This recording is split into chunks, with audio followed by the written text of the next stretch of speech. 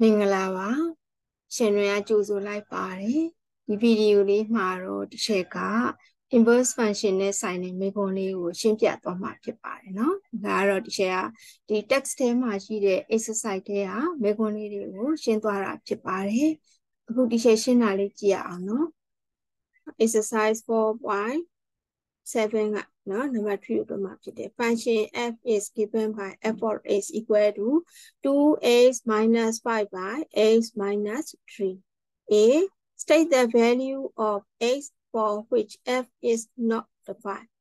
နော် f is not defined ဒီတစ်ခါကြတော့နော်အာ define မဖြစ်ချင်ဘူးနော် not define ဖြစ်မယ်ဆိုလို့ရှိရင် x ကဘယ်လောက်ဖြစ်ရမလဲ။ဒီနေ့အဖြစ်ပြောလို့ရှိရင်ဒီ x 3ရဲ့ပိုင်းကြီးက0ဖြစ်သွားရင်ပေါ့နော်။ဒါဆိုရင်သူက not defined ဖြစ်သွားတယ်။အဲ့ခါမှာရှိမယ်ဒီ x ကိုမေးတာ။နောက်နံပါတ် B find the value of x for which f of x equal to 0နော်။နောက်နံပါတ် C find the inverse function f inverse and state the domain of f inverse နော် inverse function ရဲ့ formula ကိုမေးတယ်ပြီးရင် inverse function ရဲ့ domain ကိုမေးတယ် ဆိုတော့အခု teacher တို့နံပါတ် A လေးကိုတွက်မယ်ပေါ့နော် from ဆိုသူ့ရဲ့ပုံစံလေးလေးအရင်ပြလိုက်မယ် f for s equal to 2x minus 5 by x minus 3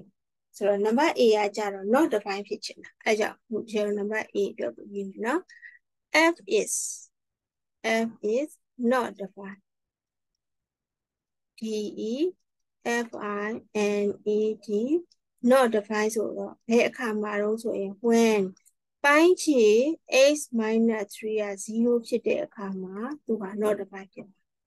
အဲဆိုတော့ဒီကျတော့ဒီနေရာလေးမှာပဲဒီကျတော့ဆက်ပြီးရှာလိုက်မယ်ဆိုရင် x equal to ဘာရလဲ3ဟုတ်ပြီနော်အဲ့တော့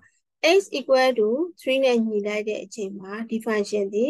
undefined ဖြစ်သွားပြီ not defined ဖြစ်သွားပြီပေါ့နော်ဒါလေးကိုမေးတာနောက်နံပါတ် b လေးကိုကြည့်အောင်နော်နံပါတ် b ကကြတော့ f for x equal to 0ဖြစ်တဲ့အခါမှာ x တန်ကိုဘယ်လောက်လဲလို့မေးတာ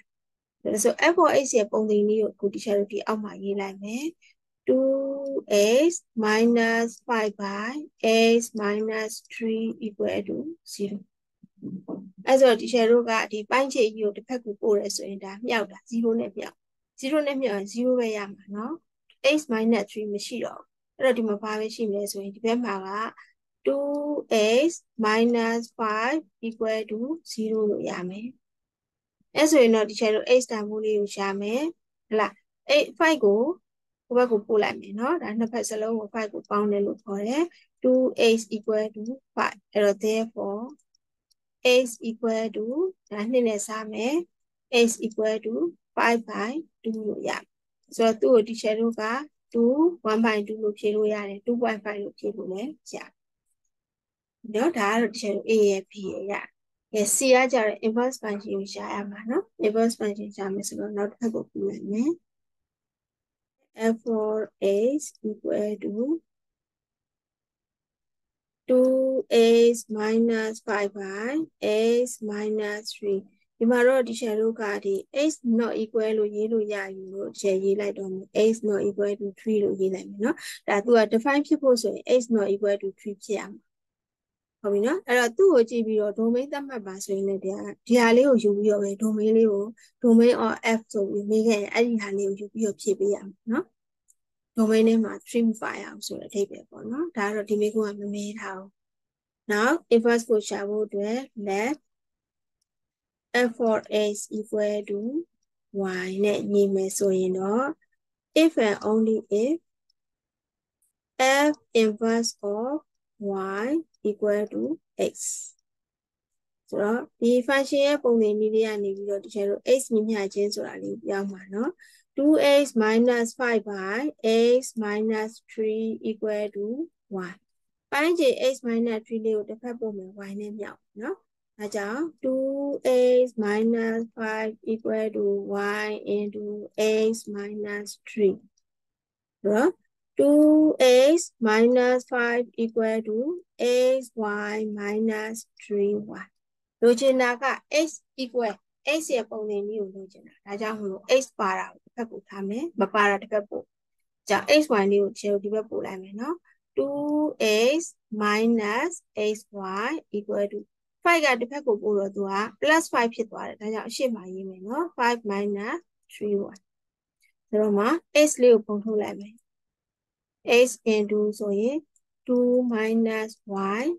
equal to ဒီဘက်က5 minus 3y ဆိုတော့ x လိုချင်တာဖြစ်တဲ့အတွက်2 minus y လေးကိုတစ်ချက်ဒီဘက်ကိုပို့ပြီးတော့စားမယ်ဆိုတော့ x ရပြီ x equal to 5 minus 3y by 2 minus y so a liu ya. Eta so bha ya inverse function Yeah. no? x ka f inverse of y ni So h n ni ya ni ma f inverse of y equal to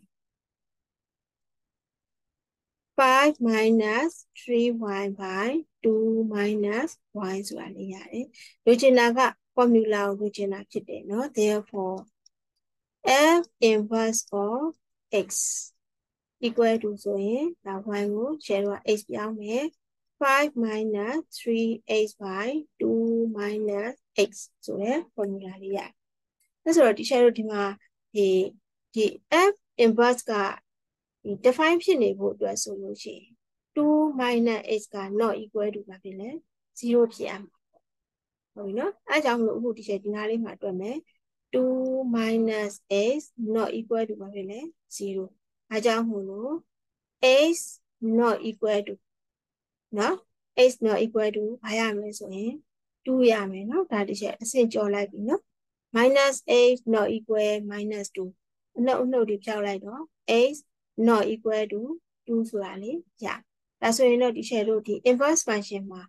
နော် domain ထဲမှာဘယ်လိုမပါရဘူးလေ2မပါရဘူး general real number တွေအားလုံးဖြစ်တယ်အကြောင်းမလို့ state that domain of f inverse ကိုဒီ share တို့ဖြေတော့မယ် therefore domain of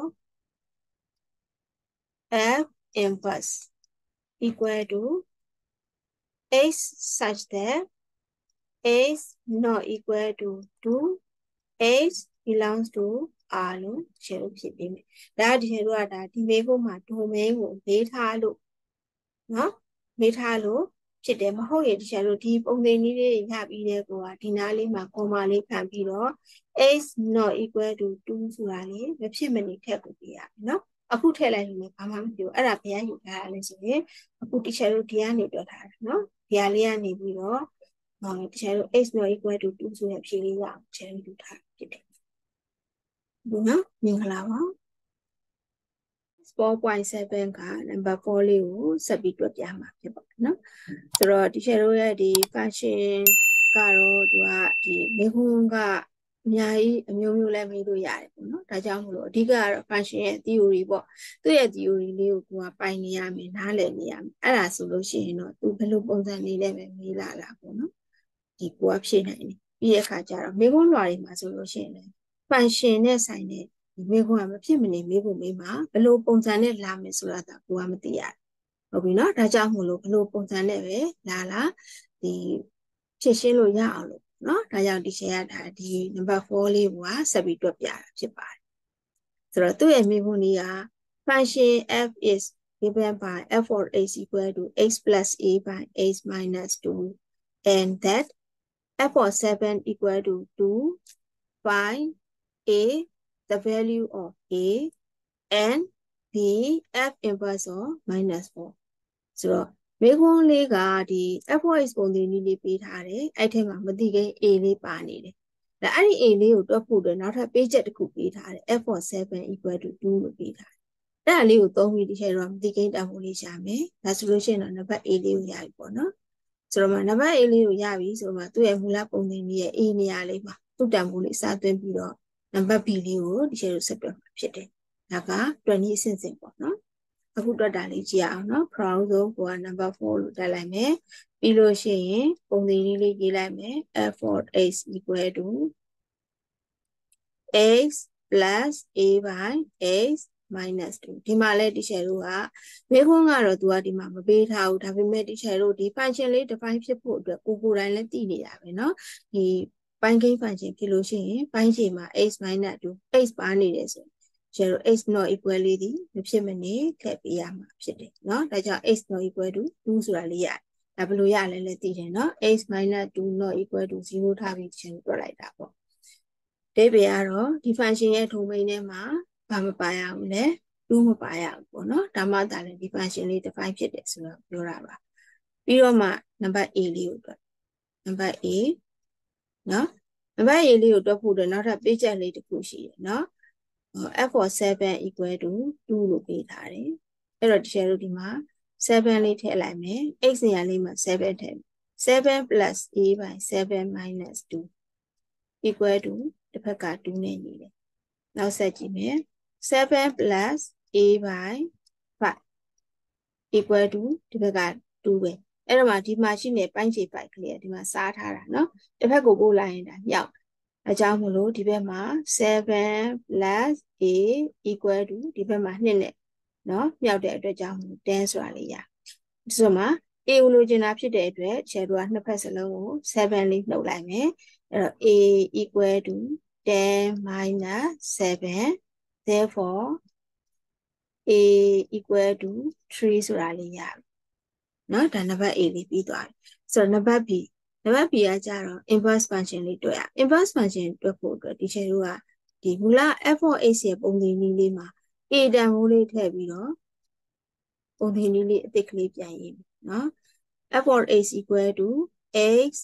plus a တန်ဖိုးက3ဆိုတော့ x plus 3 by x minus 2ဒီဘက်မှာလည်း x not equal to 2လို့ချက်ရေးထား ပြီးတော့မှ inverse ကိုတွက်တော့မယ်ဆိုတော့ let f inverse of minus 4နော်အခါလေးယူလိုက်မယ်သူ့ကိုဒီချက်လို့ဘာလို့ထားလိုက်မလဲဆိုရင် y လို့ထားလိုက်မယ်ဟုတ်ပြီအဲ့ဒီလိုထားလိုက်ပြီဆိုလို့ရှိရင်เนาะဒီချက်တို့က y နဲ့ minus 4လေးနဲ့နေရာချင်းလိုက်မယ်ဒီချက်ဒီအောက်ကိုပဲဆက်သွားလိုက်เนาะဆိုတော့ inverse ကနေရိုးရိုး function လေးပြောင်းသွားမယ် f for y equal to minus 4ဆိုတာလေးရ ဆိုတော့မှအခု f for x ရဲ့နေရာလေးမှာ y လေးအစားသွင်းပြီးတော့เนาะထည့်ပြီးတော့ share တော့တွက်မယ်ဆိုရင်ဒီမှာ y 3 by y minus 2 equal to minus 4ဖြစ်မယ်ဆိုတော့ဒီမှာ y minus 2ကိုဒီပိုင်းခြေလေးဟိုဘက်သွားပြီးတော့ minus 4နဲ့သွားမြောက်เนาะဟုတ်ပြီအဲ့တော့ y 3 equal to ဒီမှာဒီရှယ် -4 နဲ့ဒီ y-2 နဲ့မြှောက်ထားကိုဒီရှယ် direct ရေးလိုက်မယ်နော် -4 နဲ့ y နဲ့မြှောက်တော့ -4y -4 နဲ့ -2 နဲ့မြှောက်လိုက်တော့ less x ဆိုတာလေးရတယ်အဲ့တော့မှဒီ share တို့လိုချင်တာက y လိုချင်တာဖြစ်တဲ့အတွက် -4y လို့တစ်ဖက်ပို့မယ်ဒီဘက်က3လေးကိုတစ်ဖက်ကိုပို့လိုက်အဲ့တော့ y plus 4y ဖြစ်မယ်ဒီဘက်ကကြတော့8 minus 3လို့ရတယ် ဆိုတော့ဒီဘက်ကဘာရမလဲ 5y equal to ဒီဘက်က5ဒါကြောင့်မလို့ y equal to နော် y equal to တစ်ဖက်စလုံးကိုဒါတစ်ချက်လို့5နဲ့စားလိုက်တဲ့အခါ y equal to 1လို့ရတယ်အဲဆိုရင်ဒီချက်တို့က y တန်ဖိုးကဘယ်သူ့ကိုထားခဲ့ရလဲ f inverse of minus 4လို့ထားခဲ့တယ်ဒါကြောင့် y က1ဆိုရင် f inverse of minus 4ကလည်းပါရမယ်1ဒါကြောင့်သူ့အဖြေလေးရသွားပြီဒီမှာတစ်ချက်အဖြေထုတ်မယ် therefore f inverse of minus 4 equal to 1ဆိုတဲ့အဖြေလေးကိုရအောင်ဟုတ်ပြီနော်မင်္ဂလာပါ